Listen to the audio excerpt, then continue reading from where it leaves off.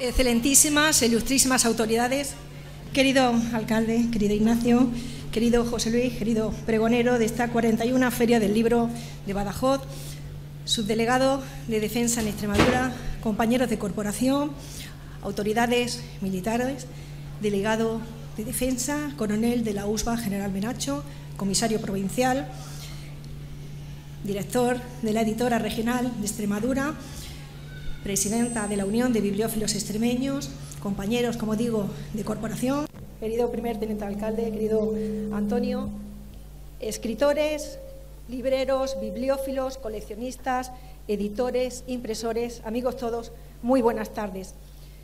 Bienvenidos también y a quienes nos acompañan y nos traducen en el lenguaje de signo, bienvenidos a todos vosotros por acompañarnos un año más de corazón. Bienvenidos, como digo, a todos a la cuadragésima y primera edición de esta Feria del Libro de Badajoz.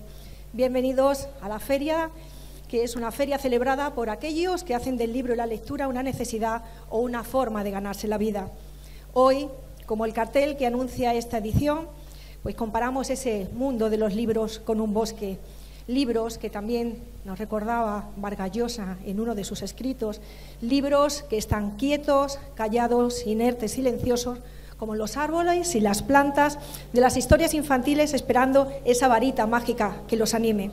Hoy basta que los abramos, los abracemos y celebremos con su página y con sus esa operación mágica que es la, la lectura y que hace que la vida estalle en ellos, convocado, como digo, por esa hechicería, y así lo decía Vargas Llosa, la hechicería de las letras y las palabras, ese surtidor de ideas, imágenes y sugestiones que elevan el papel hacia nosotros, que siempre nos impregna, nos arrebata y nos traslada a esa vida más rica, coherente, intensa y entretenida, que es la vida verdadera.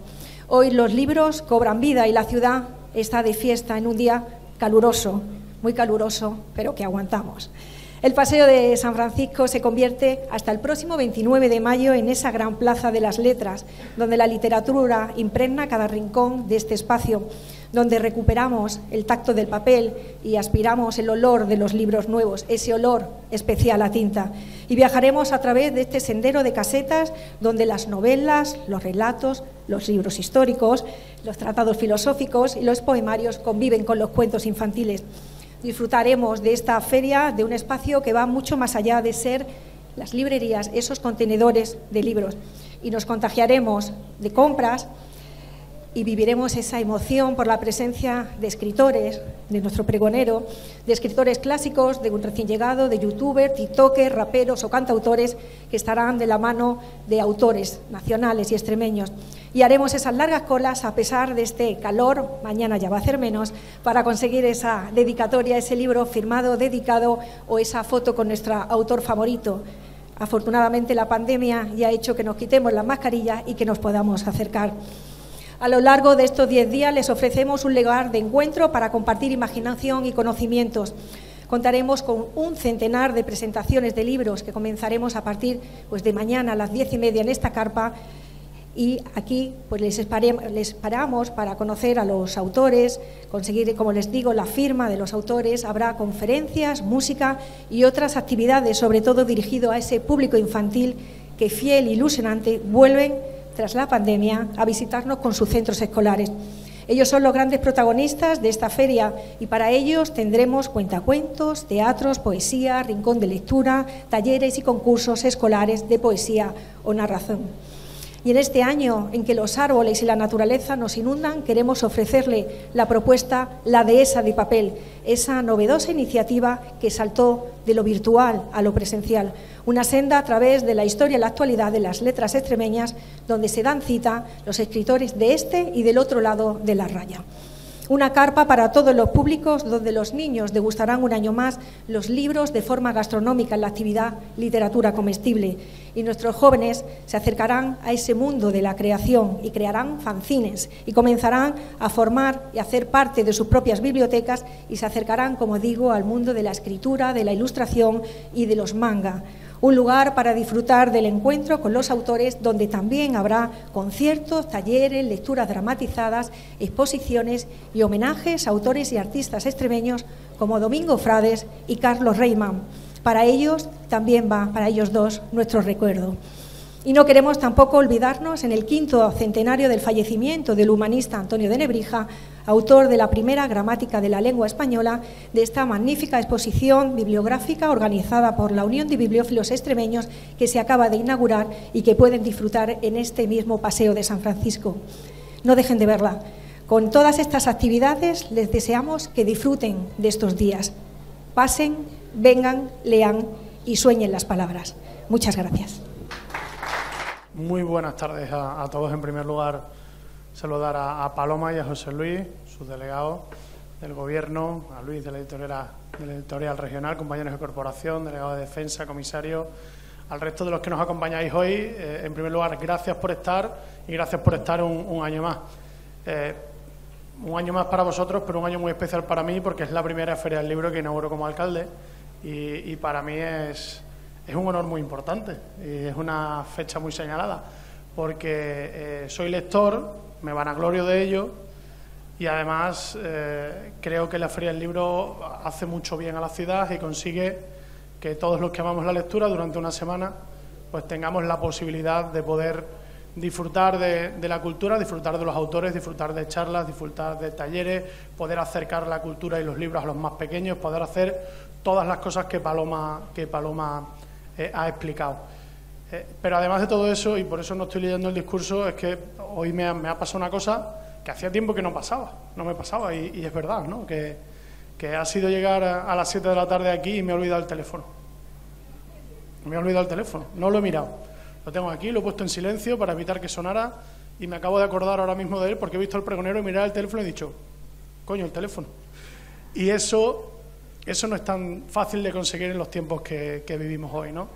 Eh, en mundos de prisas y en mundos de, urgencias, de emergencias, de problemas, de información trepidante, de, tener que estar al día, eh, se hace muy difícil tener un ratito, un ratito para, leer, un ratito para pensar, un ratito para reflexionar, eh, un ratito para nosotros mismos, con nuestros libros, con esos mundos que nos abre, con esas experiencias, con esa eh, historias, con esos personajes, con, lo que en definitiva nos hace sentir y nos hace transportarnos, como digo siempre, a otros mundos, a otras realidades y consigue hacernos evadirnos de, la realidad, de una realidad que por desgracia en estos últimos tiempos ha sido muy complicada. Así que todo esto, todo lo que ha explicado Paloma y todo lo que creo que, he sentido hoy al estar aquí en esta inauguración de la Feria del Libro, es lo, lo que representa para mí y lo que representa para la ciudad de Badajoz tener la oportunidad de disfrutar durante una semana, más de una semana, nueve días, de, nuestro, de nuestra cultura y de nuestros autores aquí en la ciudad. Una feria del libro que es referente y que es modelo para otras, nos lo han dicho hoy, y es un, es un motivo de orgullo, hemos salido contentísimos porque al final es, una, es un reconocimiento al trabajo que se ha hecho en 41 ediciones, nada más y nada menos, que son más años que los que tengo yo, o sea que ya hablamos de una feria más que consolidada eh, y para mí, como decía al principio, y para terminar, que no quiero quitaros más tiempo, es un auténtico orgullo estar aquí, inaugurarla como alcalde y, por supuesto, dar la palabra y, darle todo el protagonismo de este acto a nuestro pregonero, a José Luis, para que él sí nos, pregone esta feria que tanto sentimos y, que tanto queremos. Así que muchas gracias a todos, muy buenas tardes y que disfrutéis de la Feria del Libro. Bueno, buenas tardes. En primer lugar, mi agradecimiento al Ayuntamiento de Badajoz, a su alcalde, Ignacio Grajera, y a su concejal de Cultura, Paloma Morcillo, por haber depositado en mí la enorme responsabilidad, pero también por otorgarme el inmenso honor de pronunciar el pregón de apertura de la cuadragésimo primera edición de la Feria del Libro de Badajoz. Y mi agradecimiento más profundo y sincero a todos ustedes, al público asistente, que podría haber elegido estar en cualquier otra parte o haciendo cualquier otra cosa y sin embargo ha venido a escucharme a pesar del tremendo calor que hace hoy. Gracias eh, de corazón. Decía Luis Landero en este mismo lugar y en la edición anterior de esta Feria del Libro, cuando se preguntaba por qué leer, que así como nadie renunciaría a una herencia, nadie ha de renunciar a la lectura porque en los libros está todo el conocimiento anterior a nosotros. Los libros son la manera de inmortalizar a la tribu, decía, a la humanidad en general, puesto que la inmortalidad individual es imposible. Así, renunciar a la lectura sería renunciar a nuestra propia memoria y, lo que es peor, a la inmortalización de la humanidad, convirtiéndola en una simple sucesión efímera de apenas unas cuantas generaciones. Todo está en los libros y sin los libros se pierde todo. Decía Landero otras muchas cosas y es curioso, porque yo ya tenía escrito este pregón cuando hace apenas unos días escuché el suyo para hacerme una idea de si eh, el mío era demasiado largo o demasiado corto. Y así, en busca de una duración adecuada, pues descubrí que tenía que añadir un párrafo más a mi pregón, este que estoy leyendo ahora, porque descubrí con asombro que entre su pregón y el mío había unos puntos comunes sin haberlo escuchado antes. Y llegué a la conclusión de que en realidad tenía toda la lógica del mundo. Y es que no cabe hablar de libros si no se habla de las razones que tenemos para leer y de cómo los libros han atesorado y atesoran lo que fuimos y por eso somos hoy de un modo determinado y no de otro. Hoy en este pregón quiero hablar del contenido de los libros, de su importancia, porque resulta imposible no hacerlo, pero dejaré pronto a un lado el contenido para centrarme en el continente, en el libro como objeto. Empecemos por el contenido. Durante miles de años, los libros han sido los guardianes y los transmisores de nuestra civilización en cada momento y han legado el conocimiento pasado a las generaciones futuras. Han custodiado nuestra propia historia.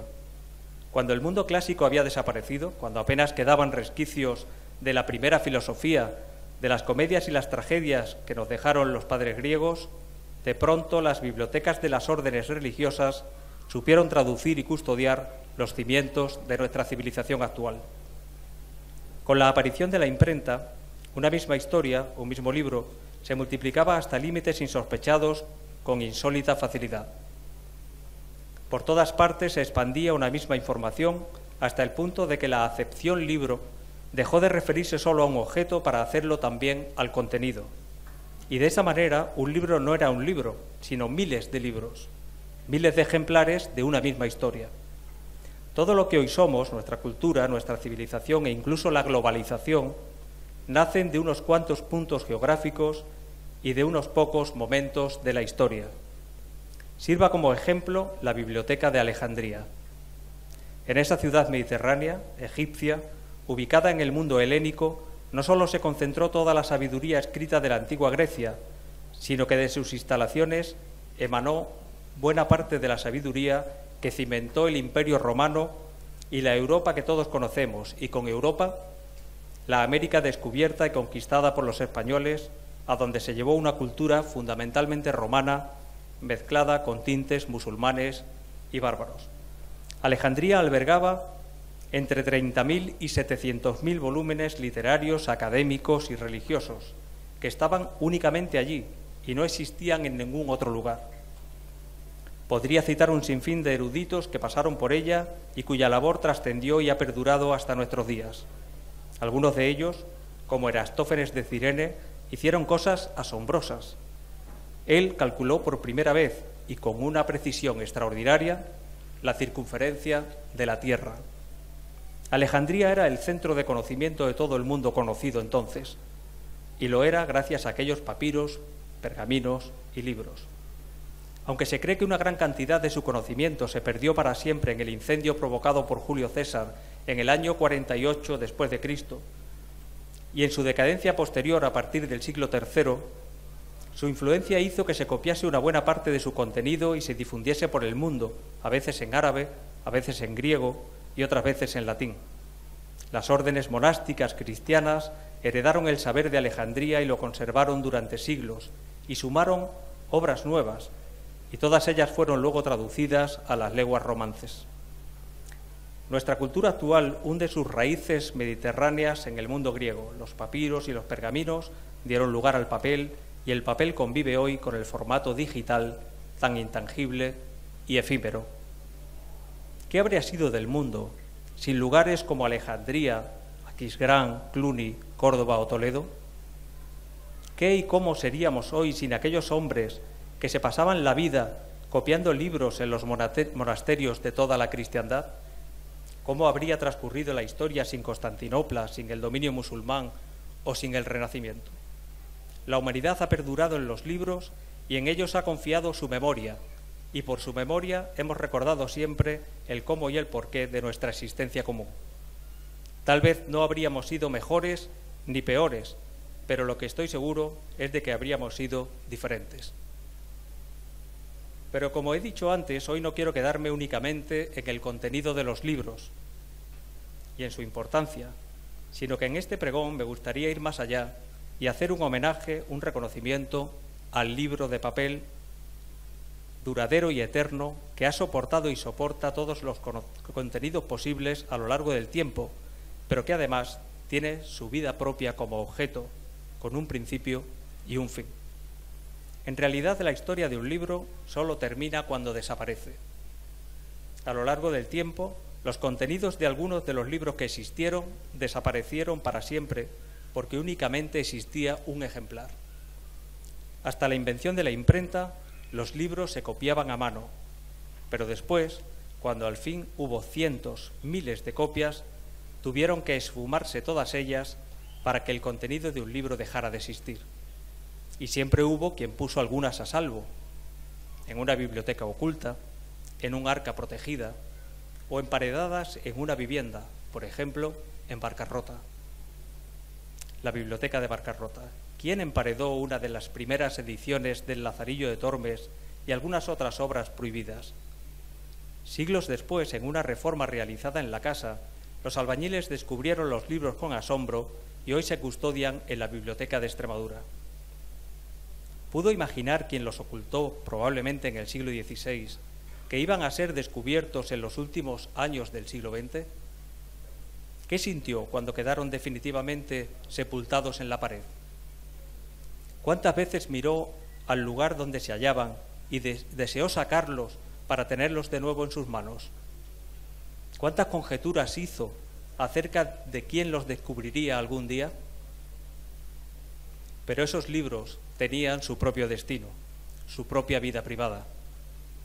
A eso me refiero con que cada ejemplar de un libro tiene su vida privada, cada una de las copias de un libro tiene una historia en sí misma, adquiere la vida que su propietario quiera o sepa darle en cada momento, o incluso la vida de la que se impregne sin que nadie haga nada voluntariamente para otorgársela.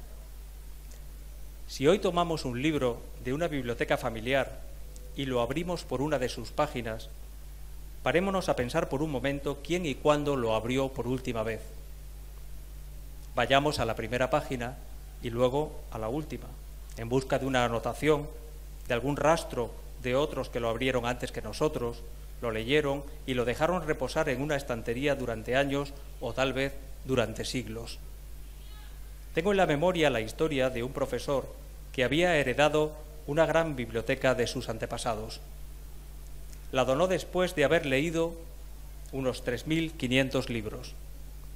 Años después, una joven estudiante de Sevilla tomaba un té en un bibliocafé cuando se levantó con la taza en la mano para husmear distraídamente en las estanterías.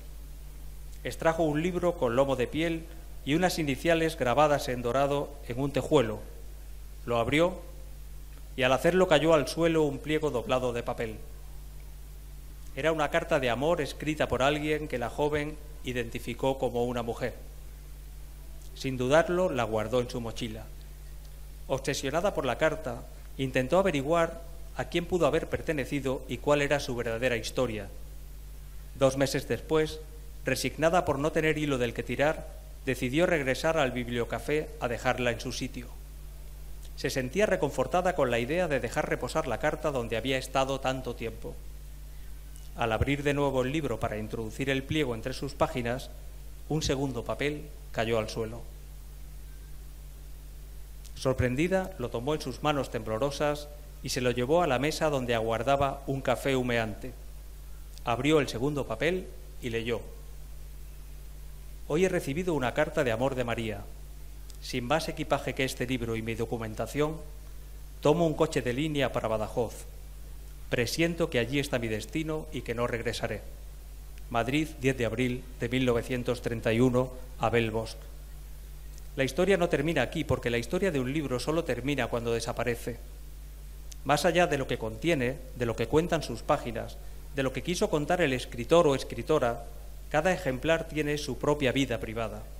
Contendrá una fecha, una exclamación, un marcapáginas, un ex libris, un ticket de compra, o tal vez sea una entrada de cine, de museo o de la Expo 92, o una invitación de boda en la que alguien anotó un número de teléfono, o el nombre de una mujer a quien un hombre conoció en una celebración y con quien días después tuvo su primera cita.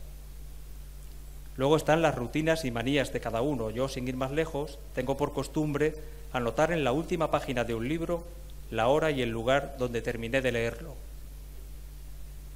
Me entusiasman las anotaciones que alguien hizo antes que yo y me recreo imaginando la vida que otros darán a ese mismo libro cuando yo ya no esté.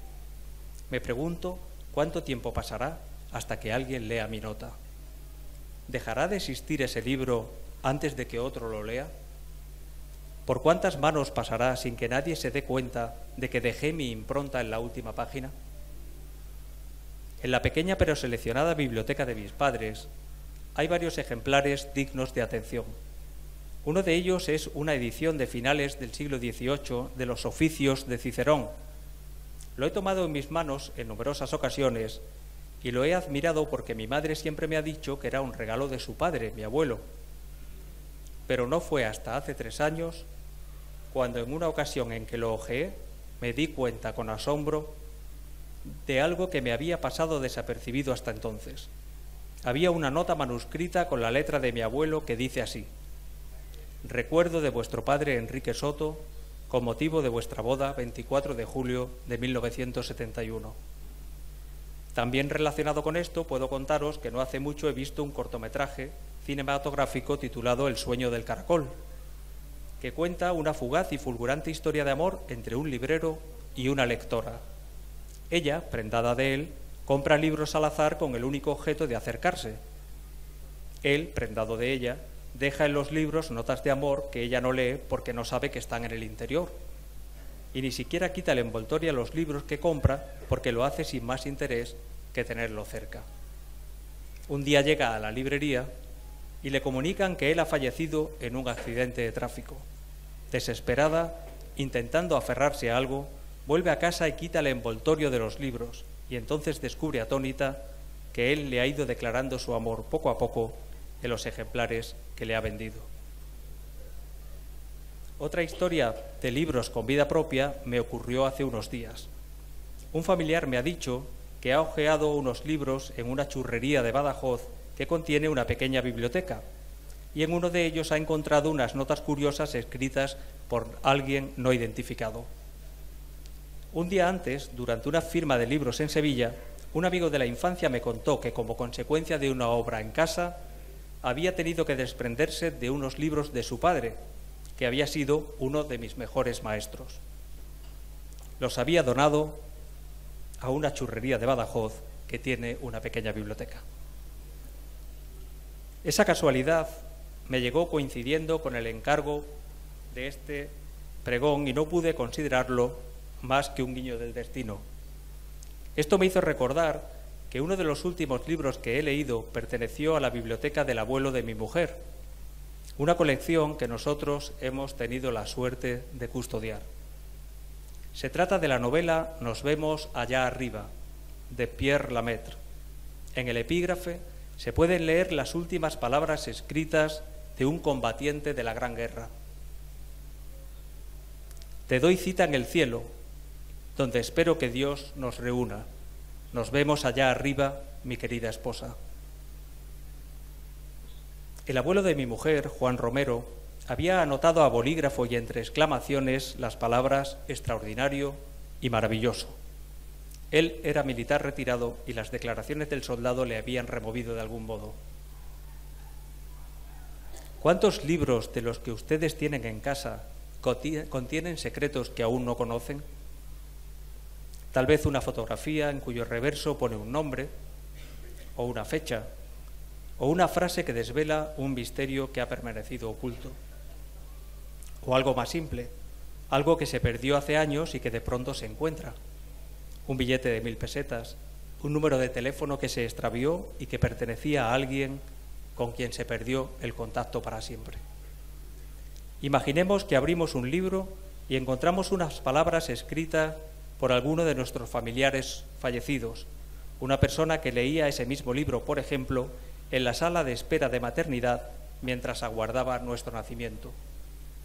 Tal vez el parte médico que nunca apareció y en el que daban el alta a nuestra madre después del parto. O la primera huella digital que nos tomaron y que nuestro padre, con los nervios, metió en las páginas del libro que estaba leyendo y que los volvió loco en la búsqueda para no encontrarla nunca. En la biblioteca de casa, como digo, heredada en parte de dos generaciones atrás, hay un ejemplar de la novela Éxodo de León Uris.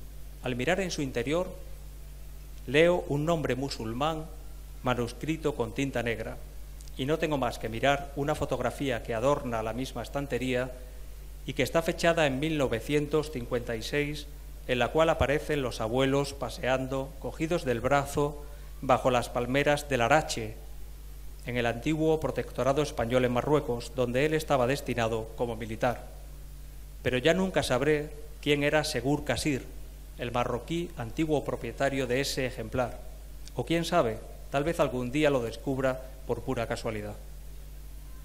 En la misma estantería reposan varios ejemplares de una colección del editor José Janés de 1947 que llevan un sello en rojo de Antonio Martínez Pirón, procurador de tribunales domiciliado en el número 4 de la calle Suárez Somonte de Badajoz. ¿Cómo han llegado hasta allí? ¿Qué relación tenía el procurador y el dueño de esta bonita colección de libros? Es posible que a raíz de este pregón sepamos cómo llegaron a lo que hoy es nuestra casa. En una edición de 1964 de El espía no vuelve de John Le Carré, veo que en la primera página hay adherida una nota de imprenta en la que reza el precio, perdón, 100 pesetas, con el sello de la Librería Militar y General del número 23 de la calle Arenal de Madrid. Indagando someramente por Internet, descubro que en la Real Biblioteca de Madrid conservan un recibo de 1945, de dos años antes, de esa misma librería por, por valor de 1,60 pesetas por la compra de una caja de chinchetas. Otro libro, Yo el Rey, de Juan Antonio Vallejo Nájera, que fue Premio Planeta en 1985, lleva dentro un marcapáginas del librodisco 86 del Corte Inglés, pero en esa época no había ningún establecimiento de la cadena comercial en Badajoz. ¿De dónde vino entonces? de Sevilla, de Madrid. En otro libro hay un sello de Galerías Preciados y en uno muy voluminoso de Ken Follett pone a bolígrafo que es el regalo de Reyes de 2008 por la carta escrita por mi muy querida nieta Zuleima. En una edición de la editorial crítica de la novela Stalingrado de Anthony Vivor, dejó escrito el abuelo, regalo de mi queridísima esposa en el día de mi 79 cumpleaños. Te adoro, en una antología poética de García Lorca de la editorial Alce de 1978, alguien dejó escrito un poema justo encima del sello en rojo de la librería Doncel de la calle Hernán Cortés de Badajoz. El poema se titula Vivir, vivir y desvanecerse, como gota que al caer olvida la esperanza, al sentirse náufrago de sus propios sentimientos, hundida en el fango que acaricia la piel casi envejecida del alma sin libertad. Entre paréntesis pone que el poema es original. ¿Qué hay en cada uno de vuestros hogares? ¿Qué mensajes os han dejado o habéis dejado a los que vendrán después? Mirad y descubrid. Tal vez hace años que en vuestras estanterías reposen ejemplares que todavía hoy tendrán la capacidad de sorprenderos. Id y buscad en ellos.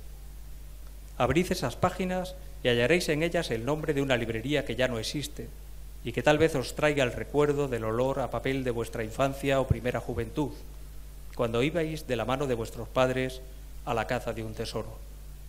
O quizá encontréis el ticket de compra de un vestido que lucisteis en vuestra primera comunión.